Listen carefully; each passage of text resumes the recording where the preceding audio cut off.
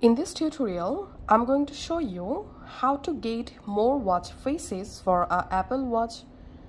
I'll show you the free method to get unlimited free watch faces. First of all, go to your iPhone and you have to open the App Store. In App Store, search for Facer and here scroll down and find out this app Watch Faces Gallery and Creator.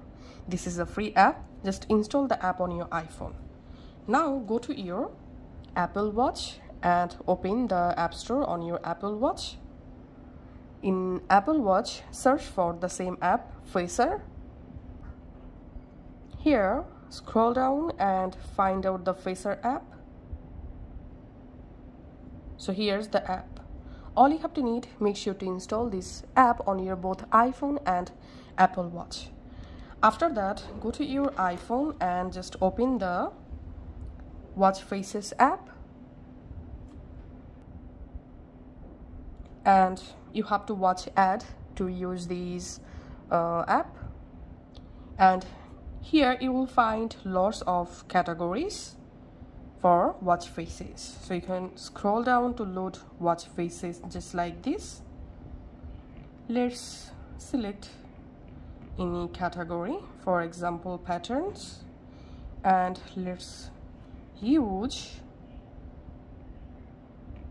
this watch face for example. So i'm just selecting the watch face and then tapping on install watch face.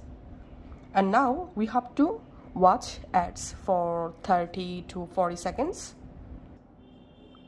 And here just go to your apple watch and you have to open the watch faces app on your apple watch and then tap on continue.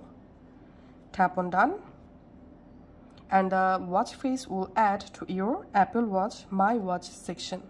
Now if i go to my watch homepage here we can see the watch face successfully applied. So that's how you can actually go ahead and easily add any watch face from this app for free after watching a ad. Thanks for watching